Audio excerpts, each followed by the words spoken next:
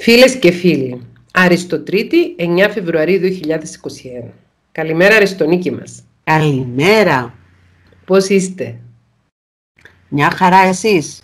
Πώς θα πάτε με τον εγκλισμό; Δεν έχω καταλάβει εγώ ακόμη εγκλισμό γιατί δουλεύω πάρα πολύ διαδικτυακά με διάφορα σεμινάρια που κάνουμε και τα λοιπά, οργάνωση, διαβάσματα τέτοια, οπότε δεν, δεν μπορώ να πω ότι έχω, έχω, έχω σταματήσει για να, να με βοηθήσει αυτό να σκεφτώ την όλη κατάσταση με τον εγκλισμό. Κατά την, για την ώρα τον αποφεύγω να το σκεφτώ ε, και θα δείξει μετά. Θα δείξει. Εσείς; Εμείς, εντάξει, και εγώ εδώ που είμαι έχω μετακινηθεί, έχω έρθει πιο προς την εξοχή, προς τα βουνά, οπότε είμαι μέσα στη φύση. Νιώθω καλύτερα, αλλά οι άνθρωποι γύρω μας και όταν λέω γύρω μας, ενώ οι άνθρωποι με του οποίους ερχόμαστε καθημερινά σε επαφή μέσω διαδικτύου δυσκολεύονται με τον εγκλισμό και ειδικά οι άνθρωποι οι οποίοι έχουν και κάποιες διαταραχές συναισθήματος, όπως οι αγχώδεις διαταραχές, οι φοβίες και η κατάθλιψη.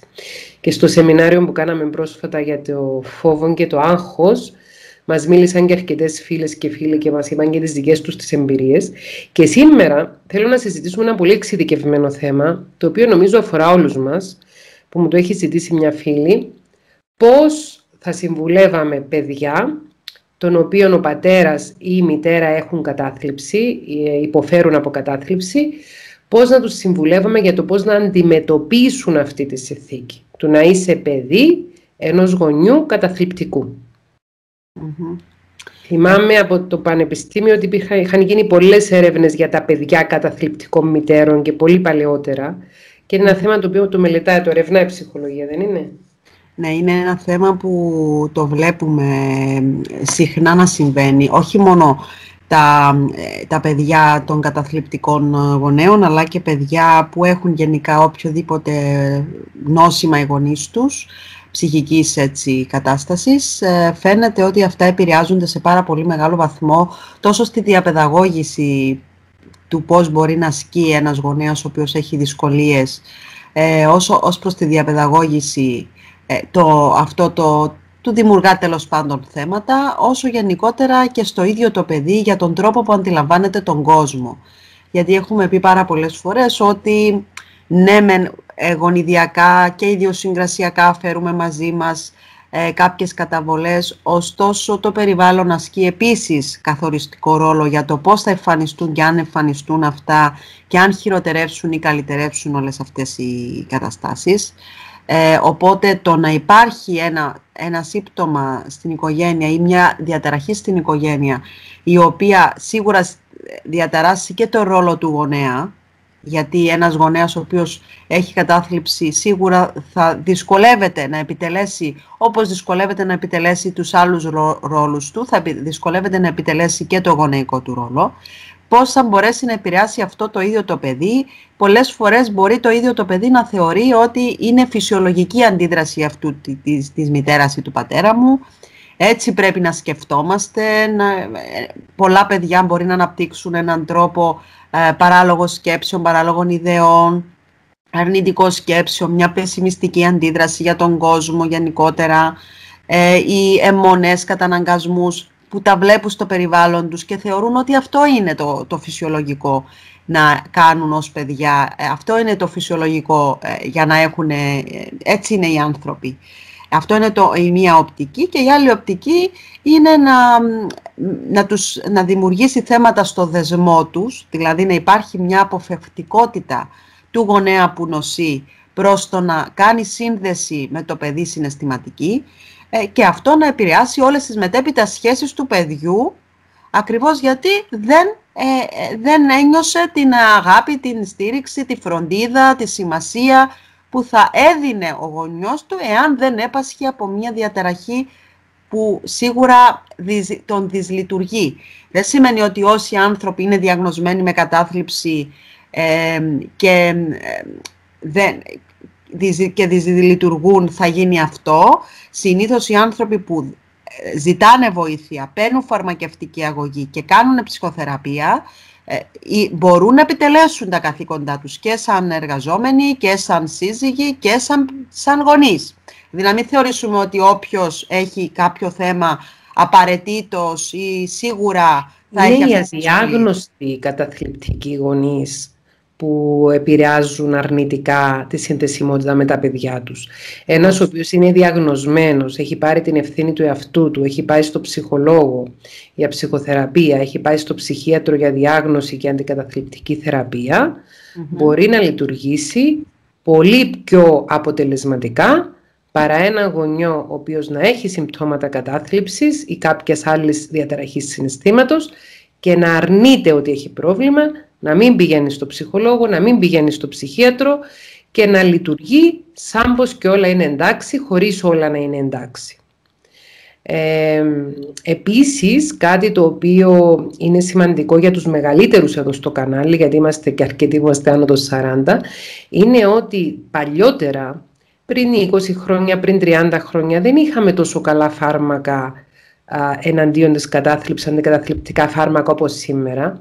Και έτσι οι γονείς κάποιον από εμάς που μεγαλώναμε, ξέρω εγώ, πριν 40 χρόνια, μπορεί να είχαν κατάθλιψη, να ήταν διαγνωσμένη με κατάθλιψη, να έπαιρνα φαρμακευτική αγωγή, αλλά αυτή η φαρμακευτική αγωγή να μην είχε τόση αποτελεσματικότητα όπως έχουν οι σύγχρονες αντικαταθλιπτικές αγωγές. Δηλαδή με τα σύγχρονα αντικαταθλιπτικά φάρμακα και κυρίως τα SSRIs, τους, τα, που είναι τα πιο συνηθισμένα και τα πιο αποτελεσματικά που χρησιμοποιούμε στις μέρες μας είναι η ε, επιλεκτική αναστολή σε επαναπρόσληψη σερωτονίνης, SSRIs. Ε, όταν πάρεις αυτά τα αντικαταθλιπτικά φάρμακα σήμερα, μετά από δύο-τρεις εβδομάδες αρχίζεις και λειτουργείς όπως λειτουργούσες προτού ε, νοσήσεις με κατάθλιψη. Οι γονείς mm. όμως, οι παλαιότεροι, μπορεί να, είχαν, να έπαιρναν την ευθύνη του εαυτού τους στα χέρια τους, να πήγαιναν στο ψυχολόγο. Να πήγαιναν, ψυχολόγοι δεν υπήρχαν τότε, πριν 40 χρόνια, ειδικά στην επαρχία.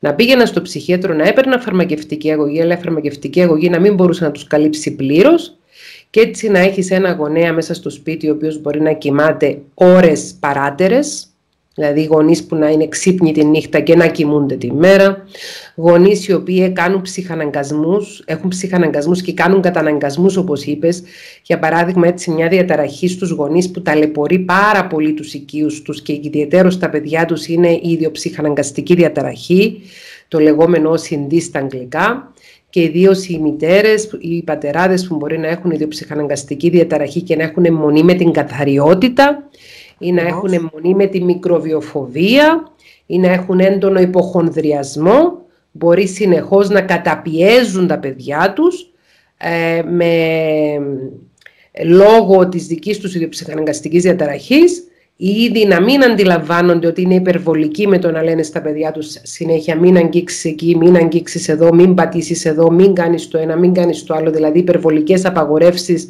οι οποίες προέρχονται από ένα χώρο ιδιοψυχαναγκασμών και καταναγκασμών. Τα παιδιά όμως θα το βιώνουν αυτός α, υπερβολική αυστηρότητα των γονέων και απόρριψη των γονέων. Ναι, και να θεωρούν ωστόσο ότι το να, το να κάνεις όλες αυτές τις λειτουργίες είναι φυσιολογικό και ότι είναι ένδειξη ότι είσαι απλά άνθρωπος που καθαρίζει καλά και επιμελείται την υγεία του. Ε, γιατί ακριβώς το πρώτο περιβάλλον μάθησης που είναι η οικογένεια είναι καθοριστικό για να γνωρίσουμε τον κόσμο. Οπότε πάρα πολλά παιδιά γνωρίζοντας ε, συμπεριφορές και τελετουργίες μέσα σε αυτό το περιβάλλον το θεωρούν ότι είναι αυτό που πρέπει να γίνεται και ότι εν δυνάμει το κάνουν όλες οι άλλες οικογένειες όλο αυτό. Και περνάνε πάρα πολλά χρόνια και χρόνια ενδεχομένως άπειρης ενοχοποίησης του ίδιου του παιδιού, ε, που αισθάνεται διάφορα πράγματα για όλη αυτή την κατάσταση και ε, καταλαβαίνει μετά από χρόνια ενδεχομένως μέσα από τέτοιου είδους εκπομπές ή βίντεο ή άρθρα ή, ή μετά από επίσκεψη σε ψυχολόγο ότι όλο αυτό που γινόταν ήταν γιατί ο γονέας τους είχε κάποια, κάποια δυσκολία ψυχολογική ε, και ότι όλη αυτή η διαπαιδαγώγηση στηριζόταν πάνω σε μία δυσλειτουργικότητα που έβγαζε ο γονέας λόγω της κατάστασής του, γιατί δεν είχε καταλάβει, δεν είχε πάει σε ειδικό, δεν είχε...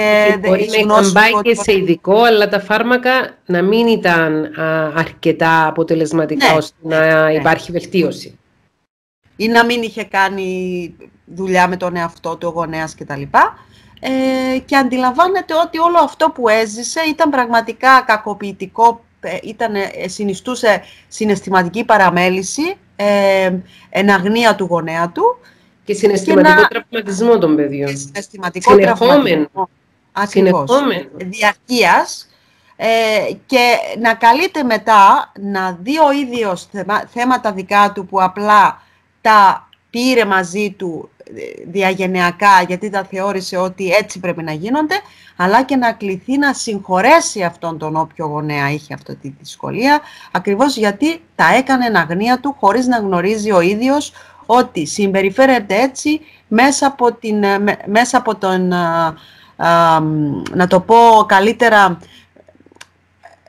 από την μάσκα ε, της κατάθλιψης ή της οποιαδήποτε άλλης διαταραχής. Δηλαδή ήταν, ήταν αυτή που τον έκανε να συμπεριφέρεται έτσι και όχι γιατί ο ίδιος ο γονέας ε, σαν άνθρωπος, σαν, ε, σαν στοιχείο χαρακτήρα ή σαν στοιχείο προσωπικότητας ήθελε να κάνει κακό στο παιδί του ή τέλος πάντων είχε κάποια τέτοια, τέτοιες ιδεολογίες. Γιατί υπάρχουν και γονείς που επειδή μεγάλωσαν ήδη με έναν τρόπο, ιδεολογικά θεωρούν ότι πρέπει να είναι αυστηροί με τους γονείς, με τα παιδιά τους, δεν πρέπει να δίνουν αγάπη, δεν πρέπει να τα αγκαλιάζουν, δεν πρέπει να τα κάνουν. Ιδεολογικά, όχι γιατί έχουν κάποια διαταραχή. Και αυτό το έχουμε συναντήσει σε παλιότερες εποχές που έρχονται γιαγιάδες, παππούδες τώρα ακόμα και ε, μεσήλικες άνθρωποι στα γραφεία μας και μας λένε «Μα εμένα η μητέρα μου δεν με αγκαλιάζε ποτέ γιατί έπρεπε να με σκληραγωγήσει, γιατί έπρεπε να γίνω άντρας» ή «Μου θύμωνε όταν έκλαιγα γιατί δεν επιτρεπόταν να κλαίω» ή δεν, με, δεν μου έλεγε ποτέ, δεν με έπαιρνε ποτέ αγκαλιά γιατί θεωρούσε ότι αυτό θα μου κάνει κακό.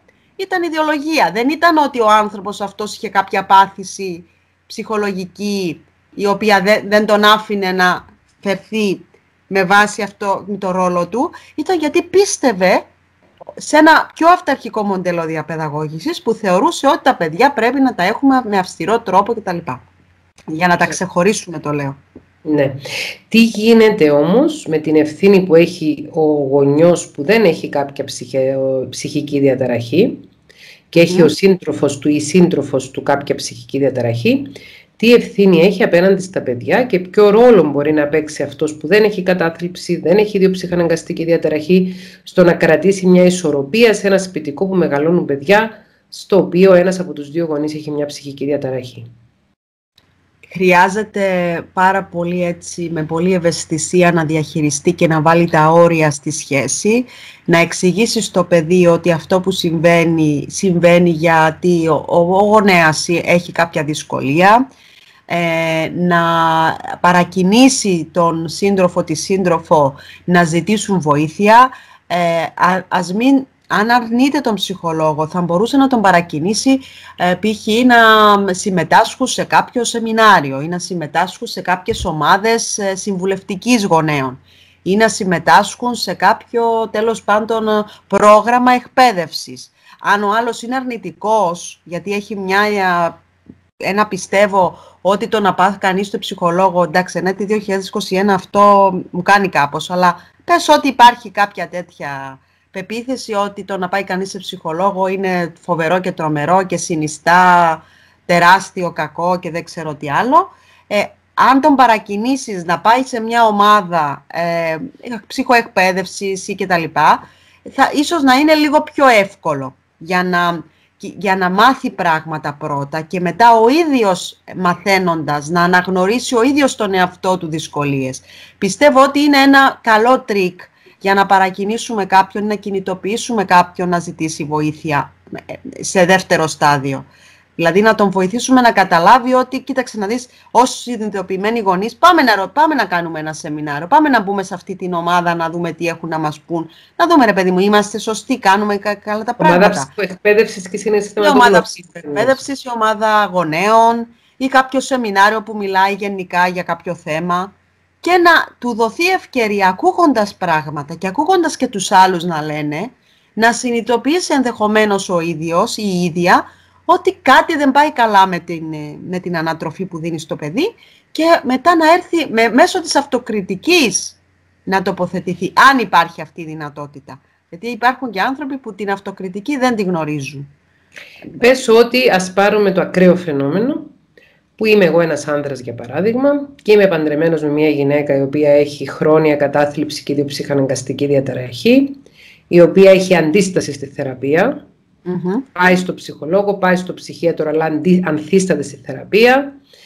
Και η γυναίκα μου ε, καταπιέζει τα παιδιά μου. Ε, τους θυμώνει για πράγματα που κανονικά δεν θα έπρεπε να τους θυμώνει, τους κάνει συνεχώς παρατηρήσεις, τους μεταδίδει το άγχος της και γενικά τους συμπεριφέρεται με τρόπους που εγώ ως πατέρας θα μπορούσε και η μητέρα να ήταν σε αυτή τη θέση. Ε, παίρνω απλώς ένα τυχαίο παράδειγμα. Θεωρώ ότι δεν είναι αντιπαιδαγωγική. Και για τους δικούς μου λόγους δεν χωρίζω από αυτή τη γυναίκα και κυρίως μπορεί να μην χωρίζω κιόλας, γιατί πιστεύω ότι αν χωρίσω θα συμβεί αυτό που συμβαίνει συνήθως λόγω του οικογενειακού δικαίου, όπως είναι αυτή τη στιγμή στην Κύπρο και στην Ελλάδα, ακόμα ότι στην Ελλάδα δεν έχει αλλάξει. Τα παιδιά θα πάνε με τη μητέρα και είναι πολύ πιθανό να μην έχω και πρόσβαση στα παιδιά.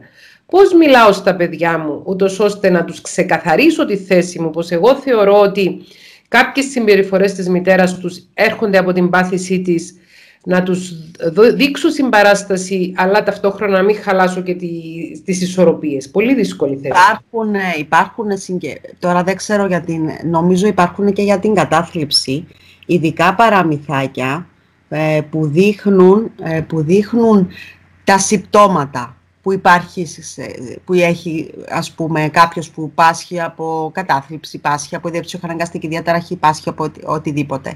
Οπότε μπορείς να το δώσεις στο παιδί να το μελετήσει και μετά να κάνεις ένα διάλογο μαζί του και να του πεις πώς είδες το παραμύθι αυτό ας πούμε, το ψυχολογικό παραμύθι θα μπορούσα να το πω ή εργαλείο ας το πούμε.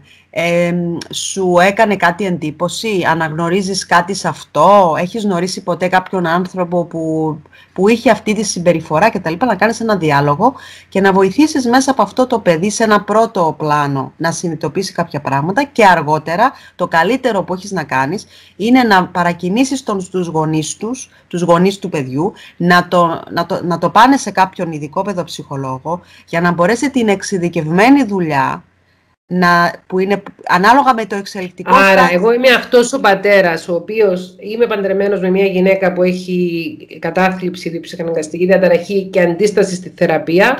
Για τους δικούς μου λόγους έχω αποφασίσει να μην χωρίσω, άρα καλά κάνω να πάρω το παιδί για ψυχοθεραπεία. Ναι. Με τη σύμφωνη γνώμη και των δύο γονέων. Έτσι λέω. Ε, ναι. αλλά μπορείς να το κινητοποιήσεις το παιδί μέσα από ένα τέτοιο εργαλείο και αργότερα να το πας για εξειδικευμένη συμβουλευτική σε έναν ψυχολόγο της επιλογής σου προκειμένου να, επειδή γνωρίζοντας την, την ηλικία του παιδιού και οτιδήποτε μπορεί να υποθεί έτσι με ευαισθησία χωρίς να δημιουργήσει επιπρόσθετα προβλήματα στο σπίτι. Παραδείγματος ναι, το ζήτημα είναι πάρα, είναι πάρα πολύ λεπτό το ζήτημα. Είναι... Έφηβο είναι πολύ δύσκολο να το διαχειριστείς χωρίς την επιπρόσθετη βοήθεια κάποιου ειδικού. Για να έχεις ένα παιδί νηπιακής ηλικίας που μπορεί να μην υπάρχει παραμύθι για την ηλικία αυτή, γιατί πολύ σύνθετα αυτά. Ε, επίσης είναι πάρα πολύ δύσκολο, οπότε είναι σημαντικό πάντοτε με τη συμβουλευτική ενός ε, ειδικού της επιλογής μας για να κάνουμε σωστά και προσεγμένα βήματα.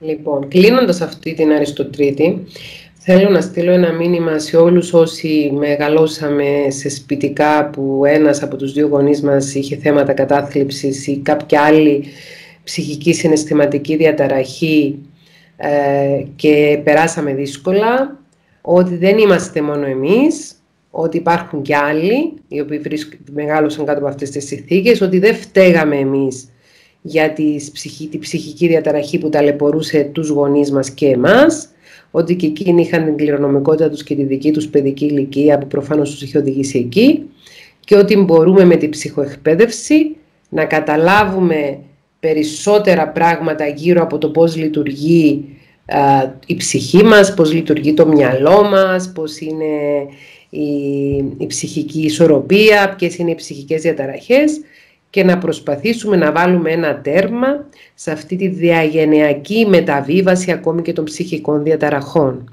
Δηλαδή να έχουμε μία προσοχή, γιατί μας έχεις πει και στο σεμινάριο για το φόβο και το άγχος ότι με βάση μια μελέτη που έγινε πριν μερικά χρόνια έδειξε ότι 46% των παιδιών που οι γονείς τους είχαν διαταραχές που σχέση με το άγχος έχουν πιθανότητα να αναπτύξουν και ήδη.